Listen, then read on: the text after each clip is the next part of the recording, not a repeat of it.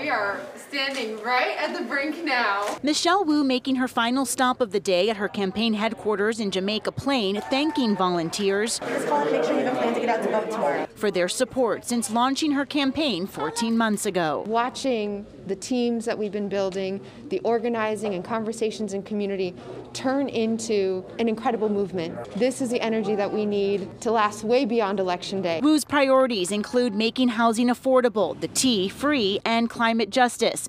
One of the reasons why this volunteer came on board from the very beginning. Michelle stepped up on day one and said, you know what, we have a Green New, Green New Deal for Boston and we need to get this done. Earlier, the mother and Roslindale residents met with voters in Chinatown looking to pick up last minute support. We will be working late into the night tonight and then bright and early tomorrow at every single one of the polls. Wu is the first Asian American woman to serve on the Boston City Council. Regardless of tomorrow's outcome, Boston will make history in electing its first woman and person of color as mayor. Over the course of this year, we've had conversations about the big, big changes that residents are fighting for and need and deserve. And this is a moment that we will look back and remember.